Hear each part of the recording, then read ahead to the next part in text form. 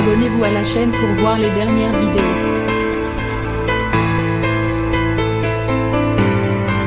J c'est avant le retour de Danse avec les stars sur TF1, le vendredi 17 septembre prochain. Les téléspectateurs auront le bonheur de retrouver le célèbre show, absent des antennes depuis deux ans. À cause de la Covid-19. Mais cette année, les fans de l'émission pourront enfin retrouver leur programme favori. Avec un casting de choix en ce qui concerne les stars, l'actrice Lucie Lucas, qui a été révélée en premier, les chanteurs Tek et Bilal Hassani, le comédien Jean-Baptiste Monnier, le youtubeur Michou, l'humoriste Jérémy Credeville tenteront eux aussi de mettre le feu au plateau.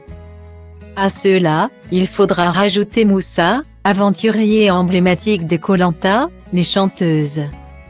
La Amouejden, Lola Dubini, Aurélie Ponce et la sulfureuse Dita Vontaise. Mais cette onzième saison a tout de même subi de nombreux changements. Notamment au niveau des danseurs. En effet, trois d'entre eux seront absents de cette onzième saison, Christian Millette, Emmanuel Bern et Catherine Apatchette pour cette onzième saison.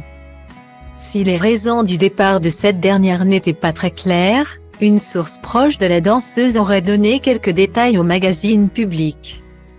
Apparemment, l'un des problèmes relevés serait la célébrité de la danseuse, la production se rend compte que les danseuses comme Katrina sont parfois plus célèbres que les fameuses stars qui participent au show et ça pose problème.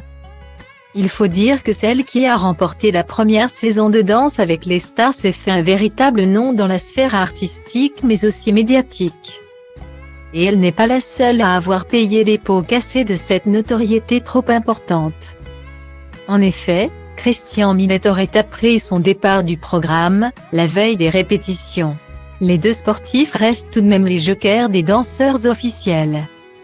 Au cas où l'un d'entre eux ne se blesse. Mais Catherine Apatchette et Christian Millet ne vont pas attendre qu'on leur redonne leur chance sur TF1.